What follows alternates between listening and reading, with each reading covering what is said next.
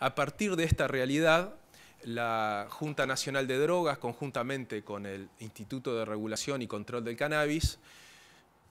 estuvimos trabajando ya desde antes incluso, porque como dijimos estamos trabajando en un abanico de posibilidades, vamos a seguir avanzando en este trabajo con el sistema financiero, pero también necesitamos generar herramientas para que el sistema de expendio de cannabis para uso no medicinal eh, pueda seguir adelante y mejore sus condiciones para eh, la llegada a los usuarios que se inscriban en el registro. En ese sentido, la propia ley de farmacias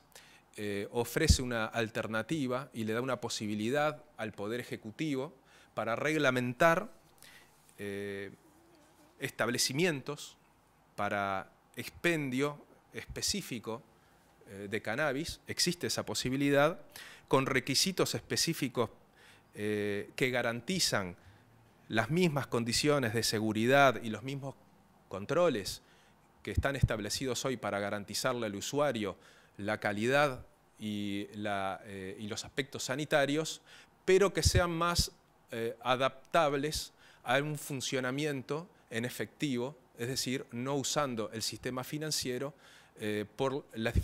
que se generaron, las dificultades que se generaron con las farmacias. Evidentemente, las farmacias siguen habilitadas en el, sistema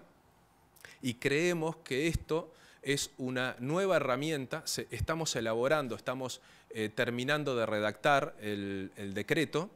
Eh, esto puede ser una herramienta para quienes quieran intervenir en este proceso para el, expendio del cannabis de uso no medicinal en las farmacias y también puede servirle a las farmacias establecidas a los efectos de tener una alternativa para este, salvar esa dificultad con el sistema financiero.